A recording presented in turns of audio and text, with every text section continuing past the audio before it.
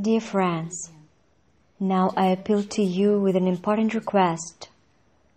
Many of you have heard that now in China there is a very serious epidemic of coronavirus.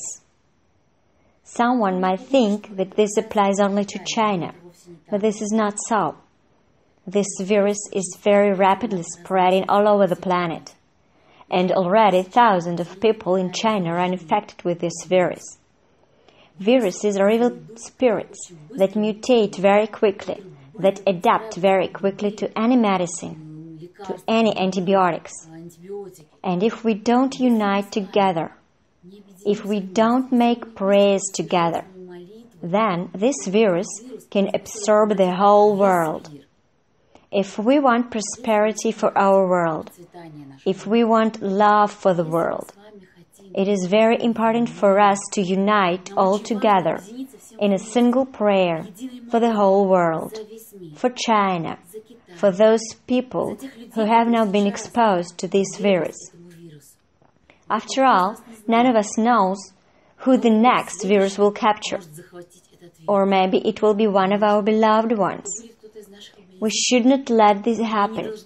We, especially women, should hold hands, hold together, and send the praise of our hearts to the healing of all people who need help so much. Let us make this virus, which mutates very quickly, which adapts very quickly to any environment surrounding it, so that it doesn't creep out like an epidemic of a terrible disease all over the planet. Let's unite together to a single field of love.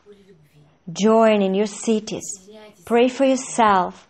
Ask for high powers, angels. No matter what religion you are, just pray. Unite in a field of love. Perhaps you are lucky and in your city there is representative of the international movement Field of Love. Write to me if you don't know if you have the representative or not, I will tell you. And we will make together a prayer of our heart, so that the virus once and for all, so that the evil spirit once and for all leaves the life of people. Let it be so.